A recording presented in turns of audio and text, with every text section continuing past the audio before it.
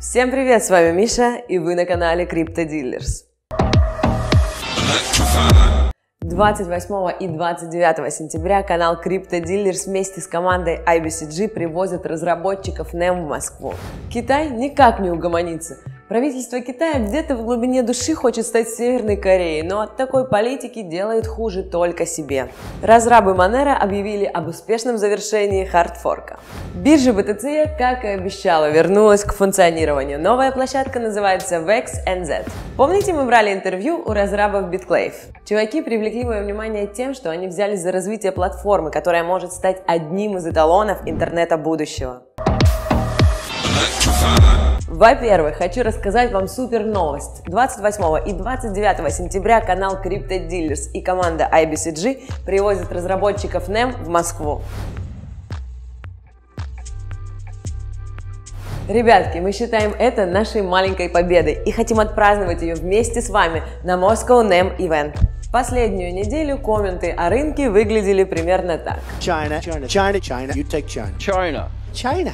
I love them. China. China, China, China, China. I have to have my China. China, China, because China, China, China. Китай никак не угомонится. Наверное, правительство Китая где-то в глубине души хочет стать Северной Кореей, но от такой политики делает хуже только себе. Как результат, это массовая миграция китайских бирж на local bitcoins. Если так дело пойдет и дальше, то вся китайская криптоиндустрия перекочует в Гонконг. Поскольку новости говорят о том, что полный запрет на обмен биткоина на фиат вступает в силу 30 сентября, криптопользователи и компания Китая начинают опасаться за свои средства.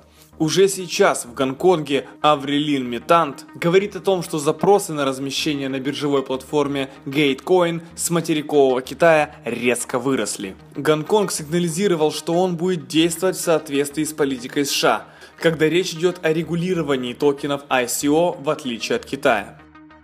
Ладно, китайская паника – это понятно. Давайте же посмотрим, что у нас хорошего происходит. Тайская комиссия по ценным бумагам выпустила руководство по ICO. В своем заявлении регулятор пытается найти баланс между поощрением технологических инноваций и защитой инвесторов. Наблюдения регулятора вторят позиции, высказанной СЭК США. В июле 2017 года американское агентство опубликовало уведомление о том, что законы о ценных бумагах могут применяться к предложениям, продажам и торговле в виртуальных организациях.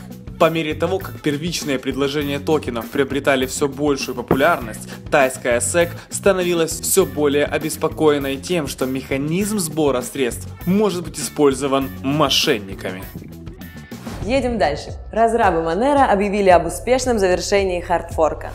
Запланированный хардфорк сети Monero успешно завершен. Об этом сообщается в официальном твиттер проекта. Изначально предполагалось, что апгрейд протокола состоится 21 сентября. Однако впоследствии эта дата была перенесена на более ранний срок. Причиной переноса даты стал рост хешрейта сети. На данный момент этот показатель превышает 250 миллионов HS. В новой версии ПО введено обязательное использование так называемых самых кольцевых конфиденциальных транзакций.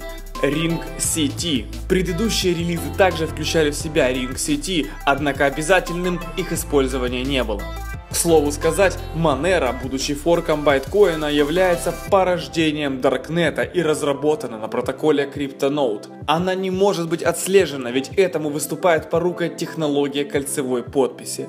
На момент публикации средневзвешенный курс Monero, по данным CoinMarketCap, составляет чуть более 96 долларов. Пацаны из BTCE ответили за базар и, как и обещали, вернулись к работе 15 сентября. Новая площадка называется VEX NZ. Как и следовало ожидать, и внешний вид, и функциональность платформы не изменились, и первые вошедшие на нее пользователи занялись тем, чем они занимались всегда – дискуссиями в чате. Вход на биржу прошел стандартно, новый сайт принял имя и пароль со старой площадки, интерфейс также не изменился. Площадка будет работать в тестовом режиме с целью проверки работы всех блоков. На вывод средств будут установлены суточные лимиты. Информация о них доступна в профиле вашего аккаунта. В дальнейшем они будут увеличены. Тестовый период будет длиться от 3 до 7 рабочих дней. А помните, мы брали интервью у разрабов проекта BitClave? Кто не в курсе, я напоминаю, что BitClave – это децентрализованная поисковая система. Чуваки привлекли мое внимание тем, что взялись до развития платформы, которая может стать одним из эталонов интернета будущего. Они первые, кто показал миру альтернативу стандартным поисковикам и предложил обычным юзерам плюшки за показы рекламы и безопасность данных. И почему же я вообще о них вспомнила? Этой новости я хотела передать привет всем любителям писать злостные комменты, троллям, хейтерам и прочей нечисти.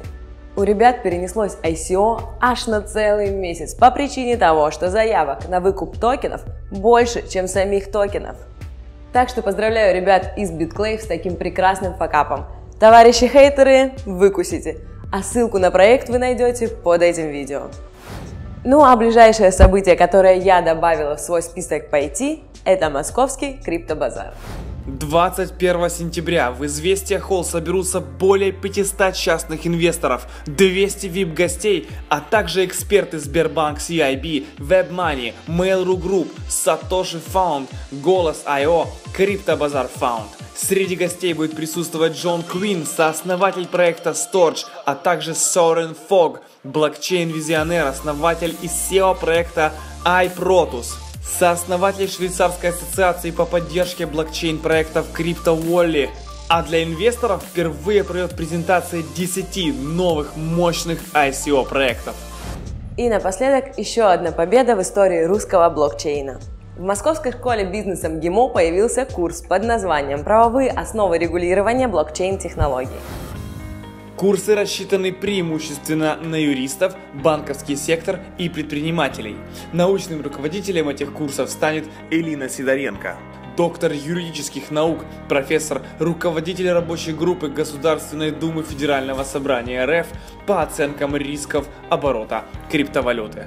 Ссылка на курс находится под видео.